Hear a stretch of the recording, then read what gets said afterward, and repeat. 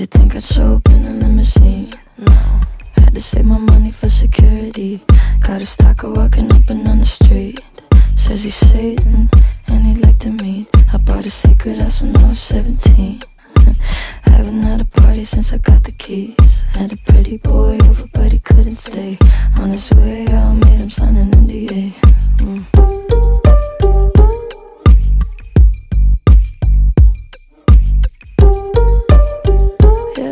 Cause I don't wanna having shit to say. You mm-hmm.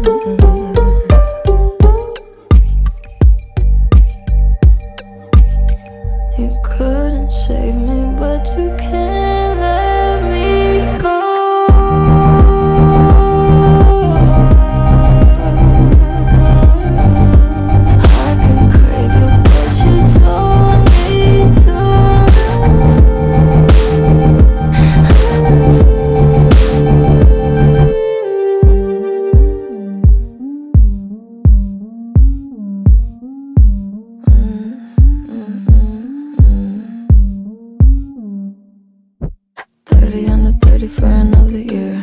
I can barely go outside. I think I hate it here. Maybe I should think about a new career. Somewhere in Kauai where I can disappear.